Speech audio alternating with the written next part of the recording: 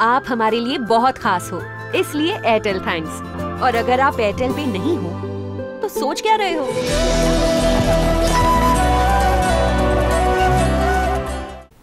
निवडणुकांच्या पार्श्वभूमीवर सांगलीमध्ये लिंगायत समाजाची बैठक पार पडली आहे.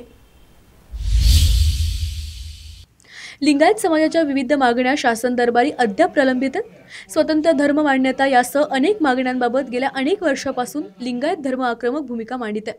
तर सध्या लोकसभा निवडणूक पार पडत असून या निवडणुकीत लिंगायत समाजाची घेण्याबाबत आज सांगलीमध्ये लिंगायत समाजाची बैठक झाली. या बैठकीमध्ये महाराष्ट्रातील लोकसभा मतदारसंघात समाजाची बैठक घेऊन जो उमेदवार लिंगायत समाजाच्या मागण्यांबाबत वचनबद्ध राहील त्याच्याबरोबर जाण्याचा निर्णय घेण्यात आला.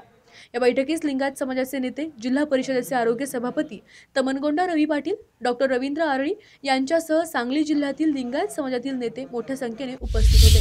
जे पेपरमध्ये बातमी आली होती लिंगायत समाज हा लोकसभेच्या किंवा इथून पुढच्या निवडणुकीवर बहिष्कार घालेल असं कुठलीही आमच्या संघटनेमध्ये हे ठरलेलं नाही.